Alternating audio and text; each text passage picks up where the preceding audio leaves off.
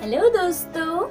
आज मैं आपके लिए कहानी लेकर आई हूँ, जो कि है एक डरपोक खरगोश की। एक बार जंगल में एक खरगोश रहता था।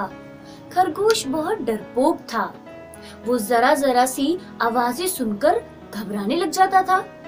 एक दिन वो एक आम के पेड़ के नीचे सो रहा था। अचानक से उसे एक धम्म की आवाज़ सुनाई दी। उसने सोचा कि लगता है आसमान नीचे गिर गया है।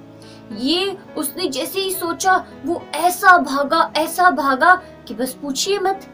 जैसे वो भाग रहा था, अचानक से उसे रास्ते में एक हिरन नज़र आ गया। उसने हिरन से बोला कि, भाई, भागो भागो, आसमान नीचे गिर गया है।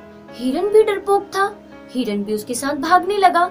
अब दोनों भागते भागते चिल्लाते हुए जा रहे थे कि, भागो भागो, आसमान नीचे गिर रहा है। ऐसा करते करते जंगल के सारे जानवर इकट्ठा हो गए। अब जब सारे जानवर इकट्ठा हो गए तो शेर ने उनकी आवाज़ सुनी। शेर अपनी गुफा से बाहर निकला और उसने एक ज़ोर की दहाड़ लगाई। शेर ने कहा, क्या हुआ? क्यों भाग रहे हो तुम सब लोग? सारे जानवर डरकर बोले, एक स्वर में शेर महाराज जी, आपको पता है, आसमान नीचे गिर रहा है। शेर इतना हंसा इतना हंसा कि उसके हंस हंस के आँसू आ गए। शेर ने कहा अच्छा आसमान गिर रहा है। भला आसमान भी कभी नीचे गिर सकता है? जब शेर ने पूछा कि तुम्हें किसने बताया कि आसमान गिर रहा है? सारे जानवरों की नज़र जाकर उस खरगोश पे अटक गई। सारे जानवरों की नज़र जाकर उस खरगोश पर अटक गई। अब खरगोश से शेर ने सवाल किया अच्छा कहाँ आसमान गिरा है, चलो बताओ।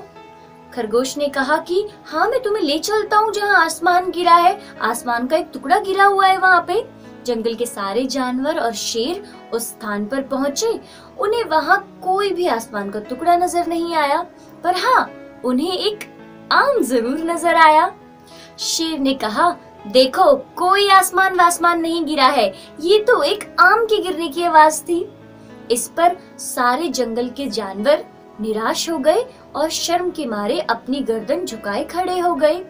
इससे हमें यह शिक्षा मिलती है कि हमें कहीं सुनी बातों पर यकीन नहीं करना चाहिए।